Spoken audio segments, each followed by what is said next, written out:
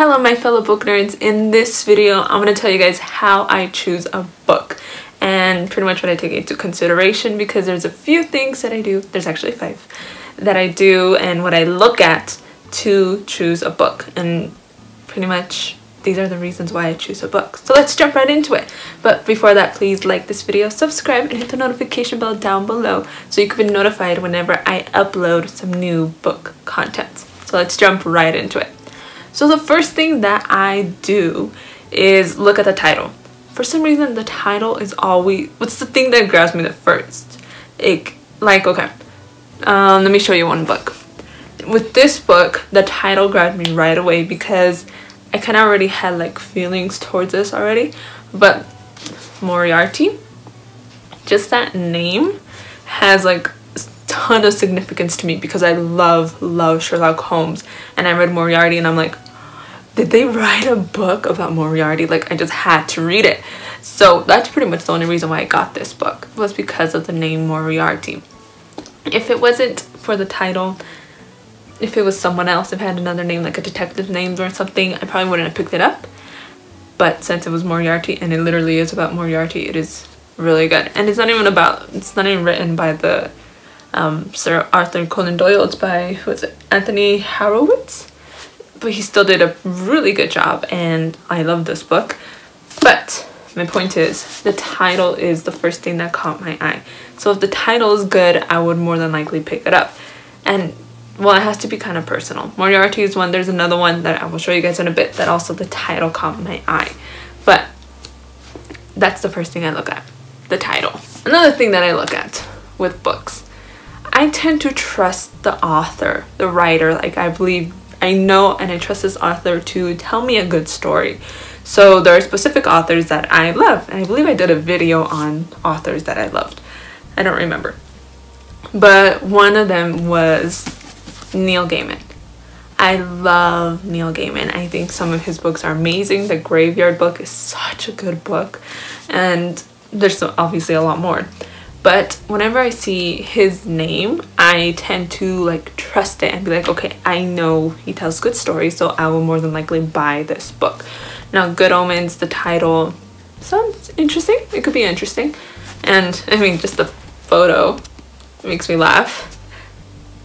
So, possibly a good reason to pick up the book. Besides that, I don't know. But just because it has his name is the reason I picked it up. Number three is, you know when you're like scrolling through like Instagram or Pinterest or something and you see a book and you just, it kind of like looks intriguing so you read the summary. That is usually the thing that gets me into a new book or a new author. If the book summary catches me, that catches my interest, then definitely I will read it. The Book Thief. I would say the title caught my attention right away because it has book and then a thief. I mean, book thief, that sounds cool. But my point is, I read the summary. Though, don't you guys hate it that in the back now, books don't have like the summary. They have like, who cares what other people think? Like, they have these weird reviews. Like, who cares what, I don't really care what the New York Times says or all these people. I care about the book summary and that's what helps me choose if I want to read this book or not. So that is what I read to figure out if I'm going to choose this book. The book summary for this one was very well written and I love that like the first pages it starts off from the perspective of death. So that the book summary and like the first pages those if they capture me right away I'm hooked and I will buy the book. If not then if they're kind of lame or I think that like oh I felt like that like that story's been told already so many times and I'm not interested. There's a lot of things like that. Then I won't I won't buy the book. And I've done that a decent amount of times where I'm just like this I can't even remember the books but I read the summary and I'm just mm, turned off. I don't really care. They don't make me care for the the character in any form and I'm guessing it's hard to write book, sum book summaries because of that reason specifically you're trying to capture the attention of the reader in a few paragraphs and sometimes that is not easy at all. The next thing that is very important for me when I choose a book is recommendations. If someone that I trust, a friend, a family member, a person on the internet that I trust that recommends a book, then I will right away, well, not right away, but I will consider buying the book. And one that was like that was The Martian. This book was recommended to me by, I believe it was a friend, or maybe I saw it on the internet. I think someone on the internet, it wasn't a friend, it was, I, I believe someone on the internet that I follow and they said they recommended The Martian. And I was like, it's probably another sci-fi book. I wasn't interested in much, but because they recommended it, I decided to purchase it and read it. And I was severely grateful that I did because they were correct. It is an amazing, funny book that you has you like hoping and wanting to finish reading it. So this was a very, very good recommendation from my from that person that I found on Instagram. I don't remember who it was. I wish I could tell you. I complete it's been a long time since I read this book. I can't remember that. But I remember it was recommended. So because it was recommended, I picked up the book and that is actually very important when, you know, if it's recommended, you pick it up, especially if it's someone you trust. So this one's kind of cliche and that's kind of funny to me, but the book cover, book cover could get my attention, at least I'll look at the book and like consider like opening it and reading the summary or something. But the first book that I was really interested in, the book cover is what got my attention and that was A Lawn Boy, this cute adorable book by Gary Paulsen the only reason I picked up this book was because of the cover.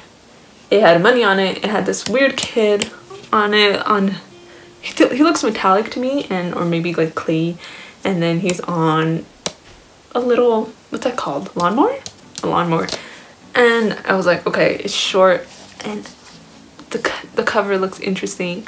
So I thought, why not? And I picked it up and I read it, and then from then on, I've been like the biggest book fan ever.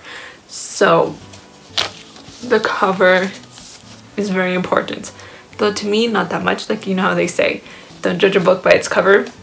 It is true, because there's a lot of books that have completely awful covers and boring. And I'm fine with it, and I think the books are great. But I think they do hold a sense of importance. So that is why I say at least the book cover does matter. I mean, even like in bookstores, they put the books that are like important, they put they put them like this so you can see the cover and the title and the writer. Come on, they want you to judge the book by its cover. I'm just saying, it's important. But anyway, thank you for watching. Um, let me know how you choose your books. If these five things, I will normally choose a book. If they're like on par, then I'll choose a book. Except the last one, I'm just saying the cover doesn't matter that much but everything else does matter to me and they help me choose the book. So let me know down below how you choose the book and pretty much what book did you pick up that you did not believe you that was not recommended to you that was not this book summary wasn't awful or something and oh I don't know, know if I have one like that where everything was pretty much awful but I still read the book and it was good I can't think of one right now. I had to think about it. But anyway, let me know down below and I will see you all in the next video. Bye guys.